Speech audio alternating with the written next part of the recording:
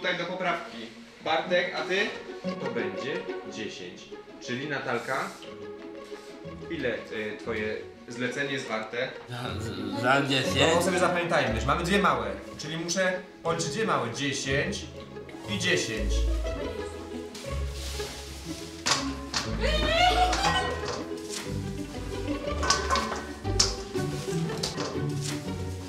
Będę zarabiać pieniądze. na Fredka.